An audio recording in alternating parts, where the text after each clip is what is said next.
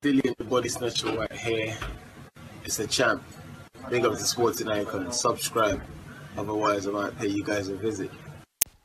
Now, when boxing returns, there are some fights that I would like to see where British will take on British, or or even if they don't have British nationality, if they're at least here in the UK, as in they live here in the UK and fight here in the UK, usually fight these kind of um, guys. So this is in case international borders don't open properly within the next 12 months. I mean, I'm sure they will, but just in case, for me, these are the 15 fights that I personally would like to see.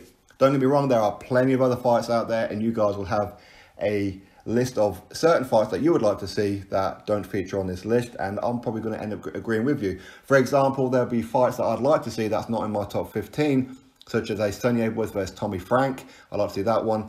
Charlie Edwards finally get it on against Kal Yafai. Nick Webb against Kash Ali. Dave Allen versus Tom Little. These kind of ones. And of course, there's plenty of fighters up here in the Northeast that I'd like to see. Um, Joe Laws getting there with April Hunter, getting there with Steve Robinson, getting there where, and so and so and so and so. But these 15 are hopefully all names that you're fully aware of. And of course, they do involve some cross promotion between Eddie Hearn and Frank Warren as well. Much like, for example, one of the ones I mentioned there, Charlie was versus Kal Yafai. Charlie Edwards is now with Frank Warren. So here are the 15 fights that I want to see within the next 12 months. Will it happen? Probably not, but you know, we're living in a fantasy world at the minute, right? So anyway, I would like to see Tyson Fury versus Dillian Whyte, and then the winner go take on Anthony Joshua. So that's two fights right there. Now you can do it ask about face if you want, and say Tyson Fury straight away against Joshua, and then the winner go fight Dillian Whyte. Either which way, I want to see those particular fights. Um, I want to see Kieran Conway take on Scott Fitzgerald for the British Super Welterweight title. And I want the winner of that fight to go fight the winner of Ted Cheeseman versus Anthony Fowler. So that's three fights right there.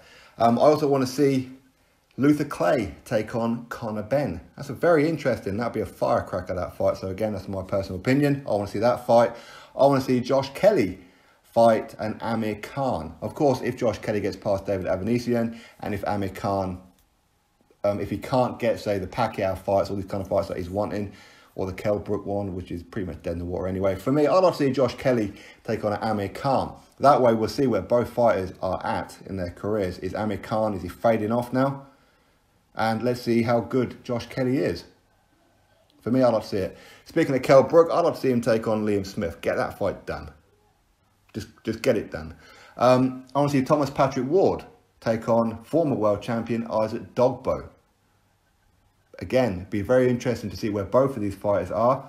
Again, if they can't get a world title fight, which will probably end up being outside the UK anyway, if not, just get them two in the ring. That's my personal preference. I want to see Lewis Ritson, the Sandman, take on Ohara Davies. But again, we know Ohara Davies, he's got that fight for the in the final of the uh, golden contract for MTK against Tyrone McKenna.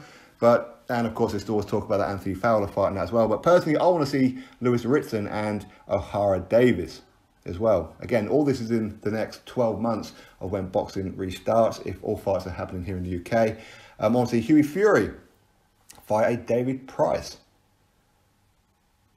Why not? I want to see Joshua Buatsi against Anthony Yarde. Again, that's a bit of a cross promotion, of course. And then the winner go take on Callum Johnson, who hopefully at that point will be the, the European light heavyweight champion. So again, that's two fights. And to finish off with, of course, Daniel Dubois versus Joe Joyce. I really want to see that fight. And hopefully that fight's still going ahead. And, then, and I'd like to see the winner go take on Derek Chisora. Of course, if Derek Chisora ends up losing to Usyk, if he ends up beating Usyk, why would he want to bother with the winner of that one when he's looking at, an Anthony Joshua? So that's my 15. Of course, you drop me yours, and and you know what? There's probably plenty of other fights out there that, that you guys maybe go, oh yeah, I wouldn't seeing that one too. So anyway, that's my thoughts. You drop me yours, click thumbs up, subscribe, catch you all in the next video.